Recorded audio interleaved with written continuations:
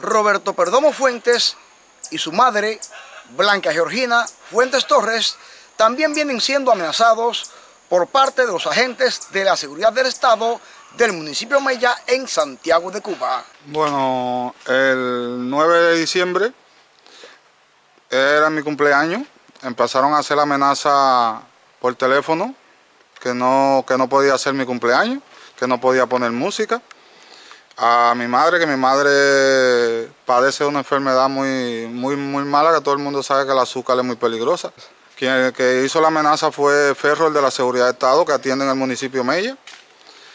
Y en el día, de, día 10 siguieron las amenazas contra mi madre y mi madre se encuentra en un estado de salud muy crítico ahora, tiene el azúcar en 19, casi 20.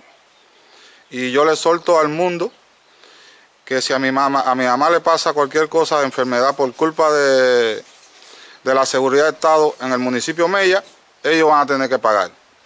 Con lo que me hicieron a mí y a mis compañeros, siguen la amenaza, que me van a desbaratar mi casa, que me van a matar. Mi vida corre, peligro en Cuba, pero yo voy a estar firme con el Umpacu hasta morir. Las amenazas contra Blanca Georgina Fuentes Torres tu madre en el día de ayer, ¿en qué se centraron? Se centraron en que me iban a matar, que la iban a coger con ella con su causa pendiente que tiene.